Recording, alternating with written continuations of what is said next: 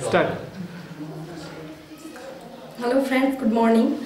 My topic is about modern science and environment. I think that two things both are interconnected and related to each other and every invention coming to inspiration of nature. At first I can say that we can't live without the help of science. Mm, we can't live without the help of science. Modern civilization is largely a gift of science. Science is now an essential companion of man in every sphere of life.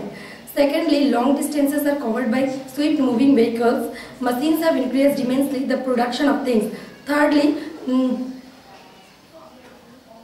thirdly with the recent invention of computer, um, we all know that um, machines and uh, um, machines and uh, um, industries uh, all are polluted environment very much.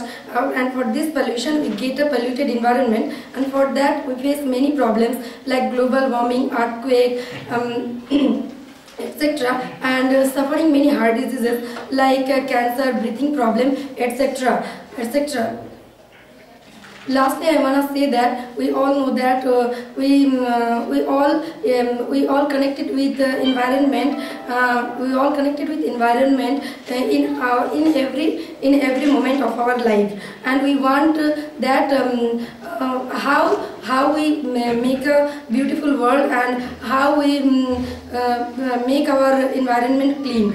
Uh, so mm, la- so lastly uh, we all see the film 2012 that is based on natural things and our our awareness of and um, and our awareness of um, uh, uh, uh, like uh, dangerous future